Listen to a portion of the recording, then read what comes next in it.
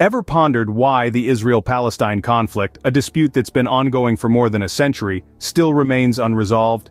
The truth is, the situation is far more complex than it might initially appear. It's a web of historical events, political ideologies, and socio-economic factors that have intertwined over the decades. The conflict is not simply about two groups vying for the same piece of land, it's about identity, self-determination, and survival. To truly understand the intricacies of this seemingly unending strife we must first familiarize ourselves with its historical context. Because to comprehend the present we must delve into the past. Rewind to the year 1917, the British government issued the Balfour Declaration, promising a national home for the Jewish people. This declaration, penned by Arthur James Balfour, the British Foreign Secretary, was a public statement expressing Britain's support for the establishment of a national home for the Jewish people in Palestine. It was a momentous event, marking the first time a world power had lent its backing to the Zionist movement. The British Mandate over Palestine established by the League of Nations in 1922 was seen by the British as a means to fulfill their promise. The mandate system designed to administer territories seized from the Central Powers after World War I was now poised to shape the future of Palestine. Under the British Mandate, Jewish immigration to Palestine increased significantly. The Jewish community, known as the Yishuv, began to establish economic and social structures in anticipation of statehood. However, this influx of Jewish immigrants was met with growing animosity from the Arab population. The Arab community which constituted the majority in Palestine felt threatened by the demographic shift and the potential loss of their land. Tensions between the two communities escalated, leading to sporadic violence and communal strife. The British authorities found themselves in a precarious position, trying to balance the aspirations of the Jewish immigrants with the concerns of the Arab majority. This delicate balancing act, however, only served to intensify the conflict between the two groups. By the late 1930s the British government began to backpedal on their promise, limiting Jewish immigration and land purchases in an attempt to appease the Arab populace. But the damage had been done. The seeds of conflict had been sown, and the stage was set for a struggle that would continue for decades. With the end of World War II, the struggle for control over Palestine intensified. In 1947, the United Nations approved the partition plan, leading to the birth of Israel in 1948. This plan proposed the creation of independent Arab and Jewish states with Jerusalem under international administration. The Jewish Agency for Palestine, representing the Jewish community, accepted this proposal.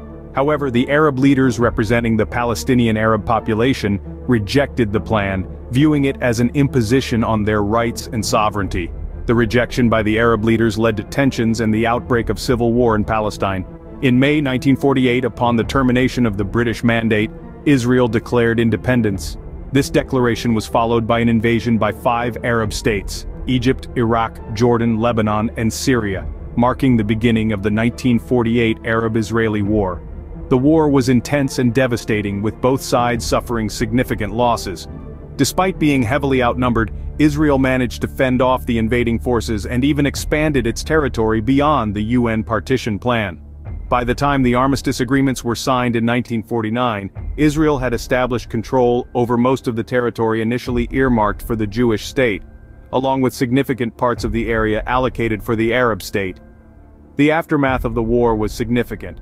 Hundreds of thousands of Palestinians fled or were expelled from their homes, leading to a refugee crisis that still resonates today. Israel's victory solidified its statehood but also ignited a lasting conflict with its Arab neighbors. The 1948 Arab-Israeli War marked a turning point in the Middle East. It not only led to the establishment of the State of Israel, but also set the stage for decades of tension and conflict in the region. The war left both physical and psychological scars, and the political fallout continues to shape the dynamics of the region. The conflict was far from over, and the seeds of discord had been sown. Fast forward to 1967, Israel, fearing an imminent attack, initiated the Six-Day War. This conflict, despite its brief duration, had far-reaching implications that continue to shape the region today. In just six days, Israel managed to seize control of the Sinai Peninsula, the Gaza Strip, the West Bank, East Jerusalem, and the Golan Heights. These territorial gains significantly expanded the nation's borders, but they also led to the mass displacement of Palestinians from their homes. The Six-Day War wasn't just about territorial expansion though, it was also about survival. Israel was surrounded by nations calling for its destruction, and it believed a preemptive strike was the only way to ensure its security. The war ended with Israel's decisive victory, but it also marked the beginning of a new phase in the Israeli-Palestinian conflict. In the aftermath of the war, hundreds of thousands of Palestinians were forced to leave their homes in the newly occupied territories. This displacement created a refugee crisis that continues to be a major humanitarian issue. Furthermore, the occupation of these territories led to widespread international condemnation and remains a significant hurdle in peace negotiations. The Six-Day War also resulted in the occupation of the West Bank and the Gaza Strip, two territories that are home to a large Palestinian population.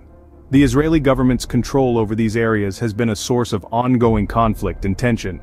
Despite numerous attempts at peace talks and agreements, the issue of these occupied territories continues to be a stumbling block. In the years following the Six-Day War Israel's occupation of these territories has been marked by periods of intense conflict and relative calm. The situation in these territories is incredibly complex with both Israelis and Palestinians laying claim to the same land. The occupation of these territories remains a key point of contention in the conflict.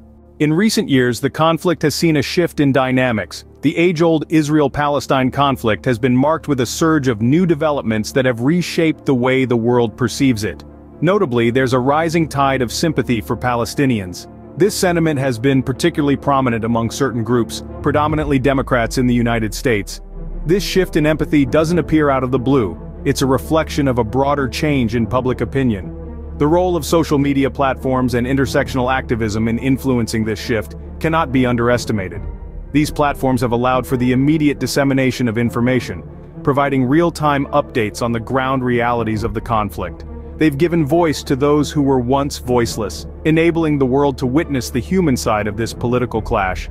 On the other hand, support for Israel remains robust, particularly among Republicans and Christian evangelicals. The ties between these groups in Israel are historical and deeply rooted, with shared religious, ideological and geopolitical interests. The Gallup poll has brought to light an intriguing facet of this conflict, a growing divide between Republicans and Democrats in the United States. This partisan divide, reflecting the contrasting sympathies towards the Israel-Palestine conflict, has profound implications for future policy decisions. It's important to remember that while public opinion is shifting, the realities on the ground are complex and multifaceted. The interplay of historical, religious and political factors makes this conflict a challenging puzzle to solve. As we stand in 2024, the path to resolution remains uncertain. The dynamics are ever evolving, and the future of this conflict like many others, is contingent on numerous unpredictable factors. But one thing is clear. The voices of those directly affected by this conflict are louder and more influential than ever before, shaping the narrative and possibly the course of future events.